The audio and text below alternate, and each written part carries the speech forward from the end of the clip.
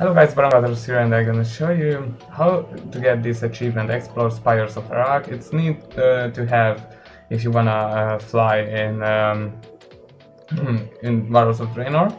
So Windswept Terrace. Um, you can find it here, right here. So let's get it started. You come up here, just like this, and you get the achievement. So this is the video. Uh, I hope uh, you enjoy and you found it useful. Thank you very much for watching and see you in the next one. Bye bye!